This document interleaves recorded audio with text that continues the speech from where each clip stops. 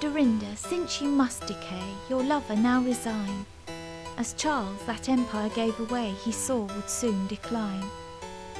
'Tis better, in the height of power, thus with your sway to part, than stay till that more fateful hour of his revolted heart. For wit but faintly will inspire unless with beauty joined, and when our eyes have lost their fire, 'tis useless in the mind.